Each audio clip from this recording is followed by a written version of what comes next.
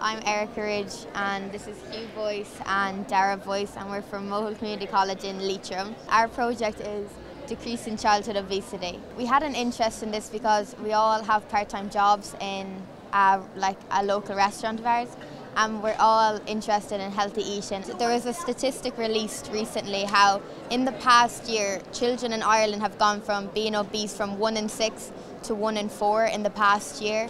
In our idea we had two menus, a healthy menu and an unhealthy menu. Our healthy menu we picked just like a basic colour and then we had like all the names of our food were like characterised with fictional characters and we put in loads of pictures of the fictional characters and on the unhealthy menu it was just black on white, it was just plain. We did in two character categories.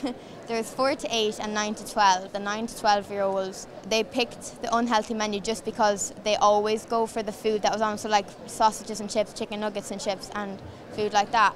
But the 4 to 8 year olds just went for the colourful menu and then when they had the healthy options, they just went with those because they didn't know what the unhealthy options were. We should tackle obesity from the younger age because in Ireland, 80% of adults over the age of 50 are overweight or obese. If we tackle the situation from a younger age, then that can like prevent all of these problems. And the four to eight year olds show that they were almost 100% like more to be influenced.